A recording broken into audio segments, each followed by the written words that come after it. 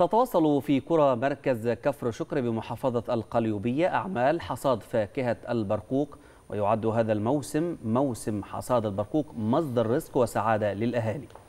وتنتج كفر شكر أنواع مختلفة من البرقوق منها السكري والبلدي. تشتهر قرى مركز كفر شكر بمحافظة القليوبية بزراعة البرقوق أو ما يطلق عليه فاكهة الملوك ويعد موسم حصاد البرقوق مصدر رزق وسعادة للأهالي وتنتج مزارع كفر شكر العديد من أصناف البرقوق ومنها البلدي والسكري والسنتروز وغيرهم. وتطبق المزارع جميع معايير السلامة والتكويد مما يسمح بتصدير كميات كبيرة من المحصول للخارج. بالنسبة للبرقوق الأصناف اللي هي التقليدية بتاعتنا المصرية القديمة اللي هي عبارة عن سكري هوليوود آه، كلوماكس ياباني آه، وآخر حاجة اللي هي السنتروز اللي إحنا بصدد جمعها حاليا. بيبدأ الجمع من أوائل خمسة لنهاية ستة.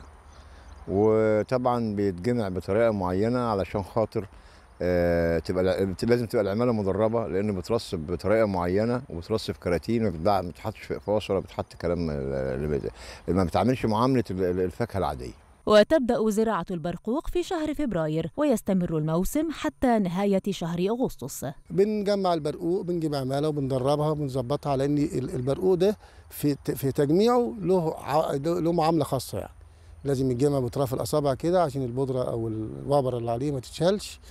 وبنجمعه وبنعبيه وبنوزعه في الأسواق. هذا ويتميز البرقوق بأن له معاملة خاصة في حصاده عن باقي أنواع الفاكهة، حيث يتم جمعه بشكل خاص داخل كراتين سواء للتوزيع الداخلي أو للتصدير إلى أسواق العالم تحت لافتة منتج تمت زراعته في مصر.